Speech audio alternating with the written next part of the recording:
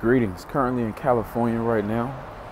I just got a question here. How do I how do I develop trust again with my boyfriend once um, you know the trust has been gone? Okay, first of all, you need to understand that trust is intrinsic. It's inside of you. Looking for another person to be a certain way or to do certain things is setting yourself up for failure. You're setting yourself up for an expectation that may never be met.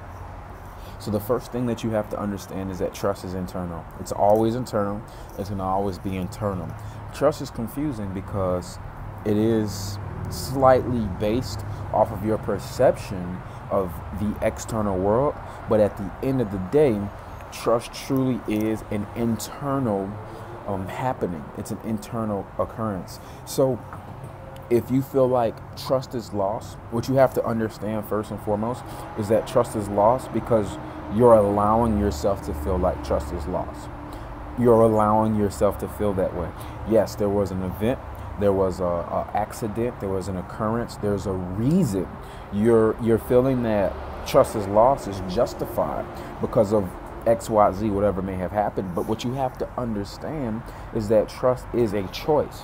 So just how you can choose not to trust, you can choose again to trust, even after there has been occurrences or situations that could potentially um, disturb the trust. Just because something happens, here's another thing. Don't say that your trust has been broken. That's making it seem like trust is just a straight line and then it's broken and, and, and can't be snapped back together. No. Look at it like a wave. When you look at trust like a wave, it's much easier to, to, to heal, to understand, to get over, to get through. So sometimes trust is really high. Sometimes things bring us down. See, so when you ride a wave and it's like a, like the ocean, it's much easier perspective.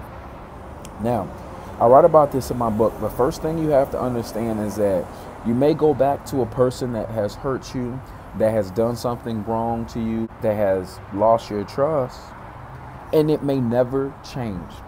And you have to be ready for that. That is step number one. You have to be ready for that. You have to be ready to accept that this person is never going to change. This person is who they are, and they're going to continue to be this way. This is not only possible, but it's probable. It's probable that they're going to stay the same.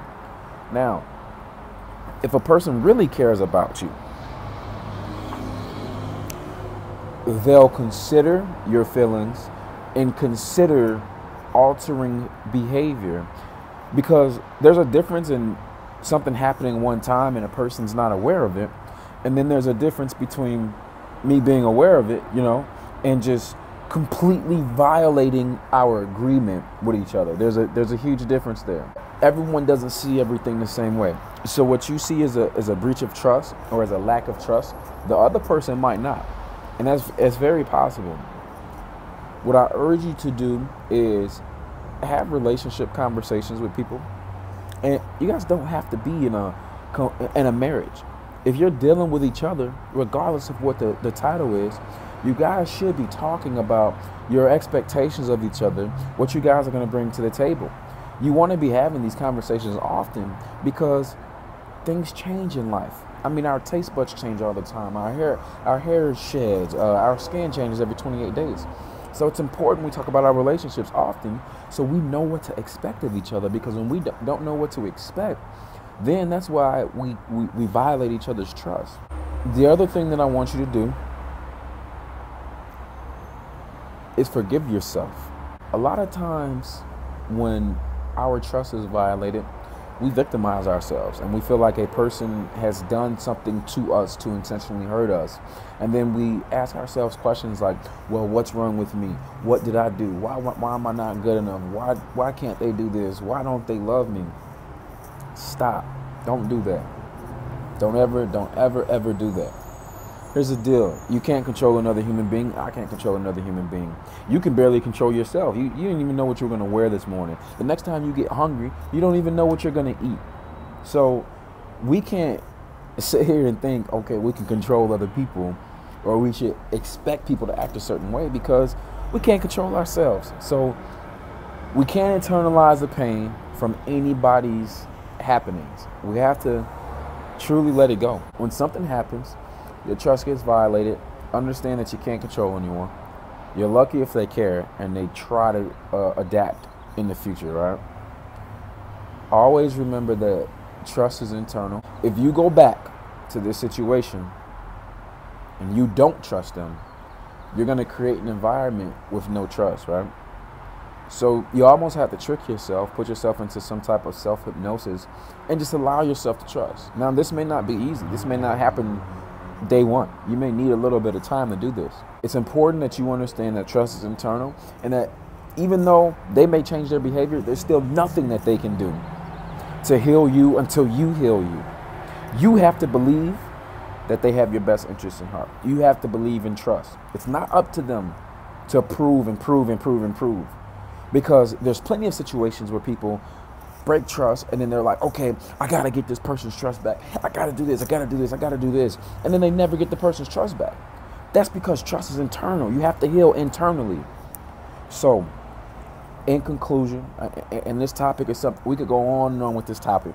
I may hit this topic again. I do cover this topic in my book the dear queen journey. I talk about going back to a situation when there's no trust. In my other book dear soul i actually have 40 pages dedicated to trust, to trust issues, how to develop trust, how to get over trust. It's a full laid out program. This is just a short video to help out. If you want more, get the books, invest in the books. I'm going to put the link in my bio. The last thing I want to leave you with is this trust is internal. It is up to you at all times to heal yourself internally. Because when you don't have trust in a relationship, you don't have a relationship. If there's no trust in a relationship, it's just two people playing house. And that doesn't work for long. Always forgive people because nobody is perfect. You need to be forgiven as well. So forgive yourself. Don't hold on to any unnecessary pain. If you're holding pain in your hand like a bottle of acid, let it go so you can breathe and be free. Trust is essential to your relationship. You need trust. Trust yourself, forgive yourself, forgive everyone else. You don't want to walk around with all that pain, harboring all that pain. It's not a good place to be. Thank you, guys.